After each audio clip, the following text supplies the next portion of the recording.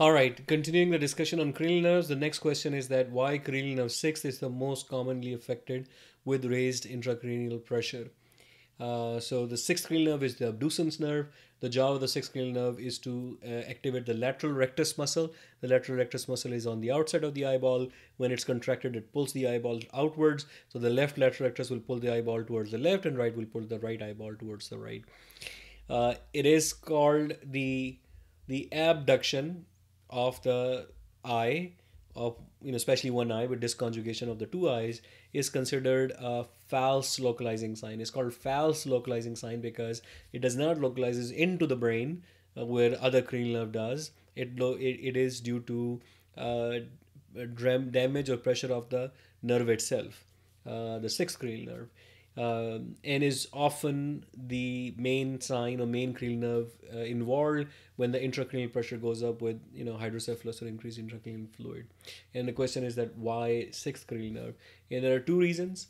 Uh, one reason is that the sixth cranial nerve is considered one of the longest. Uh, it may not be the longest, but it's one of the longest cranial nerve.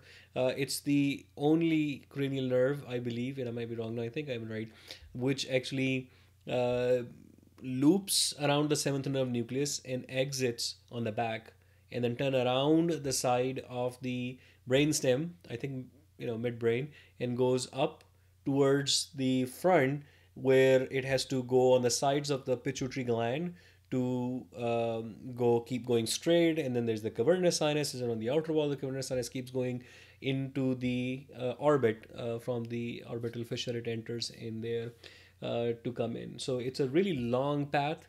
That's one reason given. But I think the more appropriate reason is that as it comes out of the brain, curls around, and goes straight up to go uh, along the pituitary gland uh, and go along the side of the cavernous uh, sinus um, to, to go towards the eye, it is coming from the posterior fossa or back of the brain into the middle fossa where there is the uh, middle uh, of the brain and uh, uh, the there is what is called the temporal bone and there is what is called the petrous part of the temporal bone which forms like a mountain like himalayas. So these mountains or apex of the petrous temporal bone is forming like these boundaries between posterior fossa and, and middle fossa and the nerve has to climb up and cross over the apex of the petrous temporal bone to enter on the walls of the cavernous sinus in the middle fossa.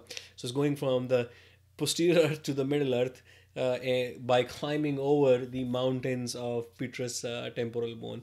And it's vulnerable there to pressure. So it's sitting right at the apex which is not very sharp but is you know pointed uh, right there. And if there's something pressing on top of it uh, such as the brain coming down and pressing on the nerve uh, then it can uh, get swollen over there because of that pressure, or maybe the spinal fluid itself can press onto it from the top, pushing it against the bone, and that probably is the reason why it gets often affected by the increase in intracranial pressure and can present as a false localizing sign. Um, next, some questions are related to smell and taste. The questions include why most of the people have loss of sense of smell and taste. So I'm assuming we're talking about general population. We know that in elderly, the loss of sense of uh, smell is a very common phenomena.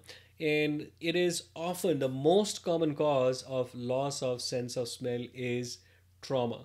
So a very simple trauma can break those fine fibrils that connect the uh, the optic uh, or the olfactory bulb with the mucosa. So olfactory nerve actually is not a single nerve.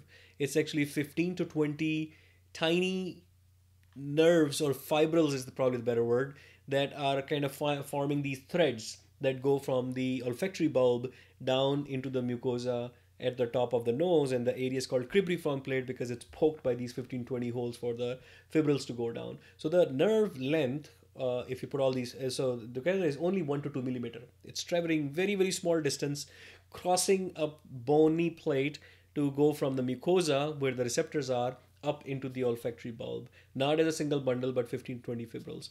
And it's very, very sensitive to shear damage. Shear means that if there are two things that are on top of each other and attached with, with something in the middle, if they slip on each other, then the connection between the two is being sheared is being separated by the sliding, not by pulling, but by sliding. So if the brain jerks forward because of a coup or counter coup injury, because of a sudden break on the car or hitting your head or something, then the brain can move too fast uh, to a point where the nerve gets sheared off.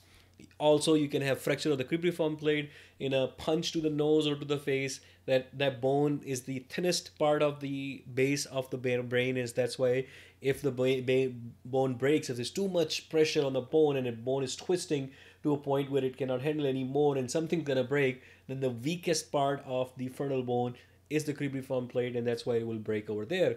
And that's why the csf coming out of the nose because of the break over there eh, csf rhinorrhea is, is a common symptom that we could see in a trauma blunt trauma to the face like punch or kick or or hitting the head on the on the dashboard with a car accident injury so for that re- for those two reasons, trauma is the most common cause of uh, loss of sense of smell in population. Usually elderly population, you have had longer life to have those traumas, and it could be even multiple minor traumas that you don't remember. So many patients who probably have traumatic loss of sense of smell actually don't have a history of trauma you cannot re- they cannot remember one single trauma that you you can say okay this is, sounds like bad enough to be cause of this loss of sense of smell now um, however the most common pathological cause of loss of sense of smell is actually Alzheimer's disease. So this dementia that starts after 65 years of age in most people, not everyone, uh, often affects olfactory bulb and olfactory nerves in the same process the tauopathy or uh, amyloid plaques and things like that in the brain and it causes loss of sense of smell. Now the most uh, unique or unusual cause of sense of smell or, or very specific to loss of sense of smell before COVID era was Parkinson's disease. So Parkinson's patient often have a loss of sense of smell, 80 to 90% in, in many studies. Uh, and that's where we usually think of as loss of sense of smell. But it's the third on the list, right? Most common is trauma, but most common patholo- neurodegenerative disorder is Alzheimer. But most significant one, most specific one is uh, because most Alzheimer patients don't have, so, so it's not as common as in Alzheimer as it is in Parkinson. It's just that there's more Alzheimer's patient. Um, now with COVID era, it seems like probably the most common cause of sense of smell, acute loss of sense of smell in all ages is COVID-19 infection. And the, there are some questions related to that. Uh, what COVID do with sense of smell? It's gone along with the taste, which often we think are related. And how is it affected by COVID-19? And then someone said that uh, since there is loss of sense of smell, maybe it's a sign that the olfactory nerve is involved. And that is right. We believe that the COVID 19 virus is a neurotrophic virus. It attaches to nerve endings and is taken up by the brain. There are known cases of encephalitis with COVID 19, there are known cases of uh, brain involvement, and you know, it's not as common as the loss of sense of smell. So maybe the spirit doesn't go up too far, but we do think that the olfactory nerves are involved.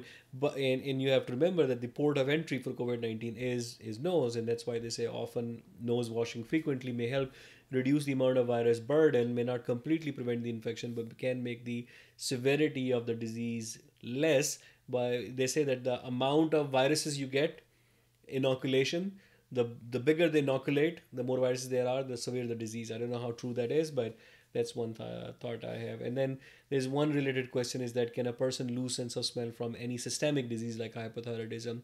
Uh, probably, you know, I don't have a good grasp on the list of causes of loss of sense of smell, but you know, clearly having a runny nose or a flu or a common cold or anything, anything that blocks a nasal function could easily cause loss of sense of smell. But beyond that, you know, I'm not, I can't recall uh, off the top of my head. Pretty good.